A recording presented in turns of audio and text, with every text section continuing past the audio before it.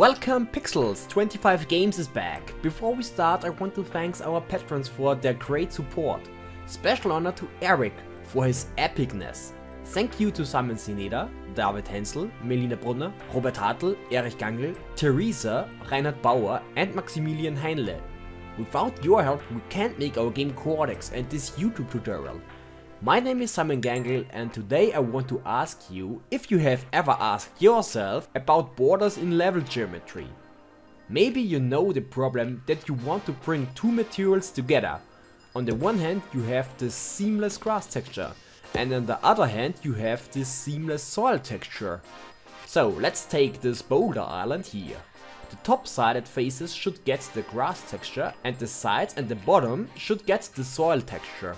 The two textures will hit each other on a particular point of your mesh and you will get this ugly seam. We need to cover this anesthetic place with an extra border texture. In the end of this video tutorial I want to have any island or level structure which have a grassland area and soil area and a border between those two materials. There are different solutions to solve this problem. However, our game Kordex have a very rough surface spiked with cliffs and boulders. I want to show you which method works best for us. 1. Preparations. I will use a prepared mesh of an boulder island and my hand painted seamless 1k textures for this tutorial. Grass, soil, soil to grass.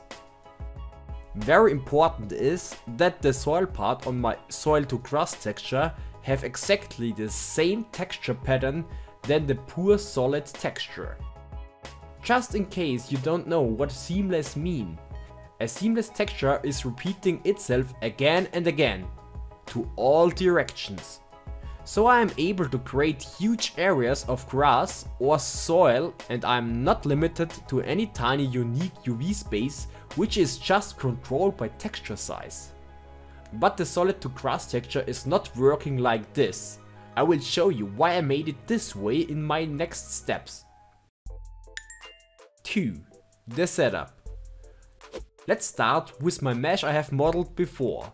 First I need to define where I want to place my grass material and where should be the soil material. For this I mark a seam to define a border. I select the top faces and unwrap the UVs. In the material tab you see that I have already prepared 3 materials with the proper textures. Grass, soil and soil border. Select the grass material and assign it to your selected faces.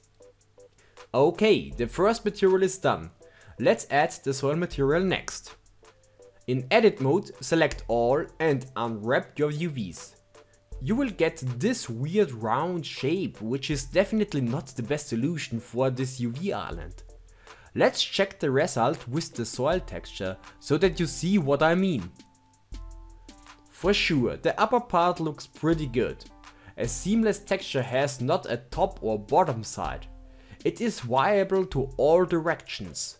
But in the middle of my UV island is pretty less texture information compared to the outer ring. So I need to mark seams to unfold the UV island in a better way. As well, this is necessary to place my border texture later. After you find your edges for cutting, mark them as seam and unwrap the UV island. The result is the semicircle-like shape. This is much more what I wanna. Select all faces and assign the soil to grass material.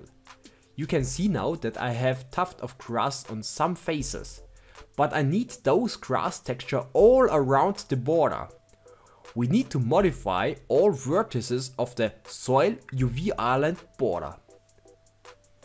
Care about the button keep UV and edit mode mesh selection in sync. It has to be disabled for my doing because I want to bring now all border vertices to a flat horizontal line. It has not to be perfect for now. Because I select them all, press W and select Align Epsilon. all your selected vertices get on the same height position. This is exactly what we wanna. Press P now to pin your selected vertices. Select all and press I to unfold UVs again. But your pinned UVs stayed at the position where you pinned them. The unpinned vertices try to relax themselves around the pinned ones. Now you managed to bring the border texture around your mesh in a very nice way. You are able to scale the UV island to adjust the texture size. But it is not done yet. The texture is repeating the tuft of grass texture to the top and bottom side and we don't want to have this texture information on the bottom side of our mesh. We need our poor soil texture here. Select all faces which are affected by the grass texture and assign the soil material. The soil texture is perfectly fitting to the soil to grass texture, because the soil pattern is exactly the same so you don't see the material switch anywhere. You will just have a subtle texture difference here on the grass part.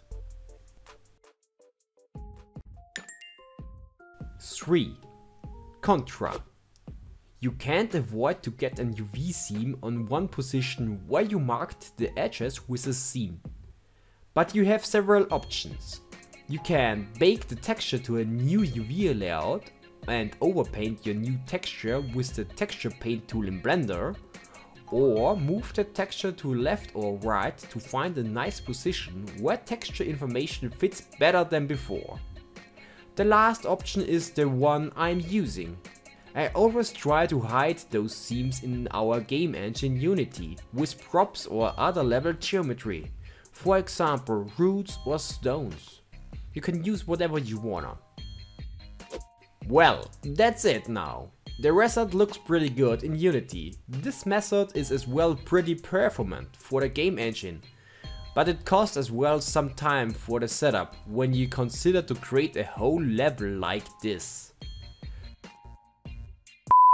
If you like this little tutorial, please give us a like and subscribe to our YouTube channel for further tutorials. We love the creating tutorials, but we need as well some support. Become our patron and help us to help you. Thank you very much for watching, see you the next time, cheers!